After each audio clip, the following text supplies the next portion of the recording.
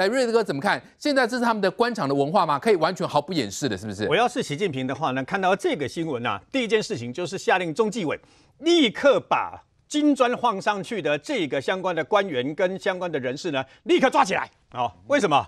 这一定是拍马屁，一定是有问题嘛？对，而且很可能就是有贪污贪渎嘛？为什么？就在昨天，中国中纪委不是才公布四个高官又下马了嘛？对不对？重庆市的这个副市长、前市副市长全部四个又下马了嘛？落落马了嘛？呃双规了，然后呢，开除党籍的，开除党籍又来了嘛？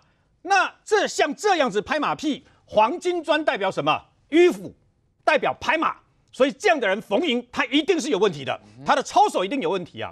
那么为什么会变成这样子？因为上面的人要这样子造神，我下面的人只好这样婆嘛。那要不然我问你，怎么会八百三十二个这个相关的贫穷县市突然间一夕之间全部脱贫啊？闹科林嘛，不科林嘛。但是因为习近平习老大他说要在去年底脱贫，所以全中国全部都要脱贫嘛。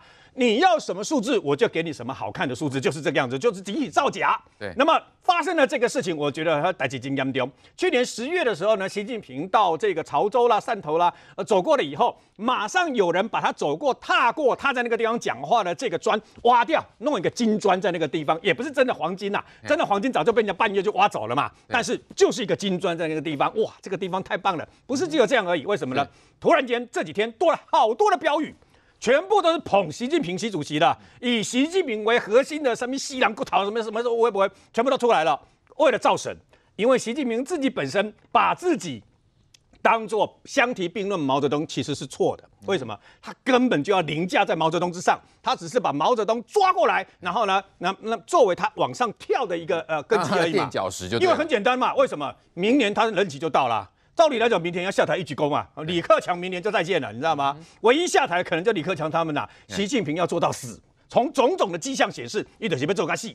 那么他这样做了以后，您想想看，包括各式的标语，包括各式的什么，所有的东西全部全部都只有三个字，叫习近平，就很简单。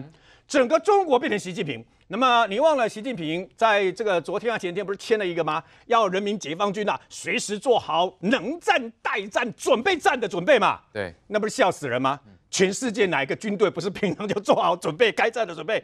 你要当军队就是随时准备开战嘛？对。但是他为什么要做这样的一个准备？因为很简单，习近平曾经看他们大型军演的时候呢，那么故意穿着所谓的毛装，然后呢在车上以后呢。做广播向所有受教的这个解放军说，党指向哪里就打向哪里。对，事实上所谓的党现在要把它换一个字，习近平我指向哪里就打向哪里。是，其实我告诉各位，其实这个是习近平内心很严重的不安全感跟空虚感，所以他为了，因为他之前已经被人家上任前就被人家暗杀那么多次嘛，他现在又整肃这么多人，故意清狼呢。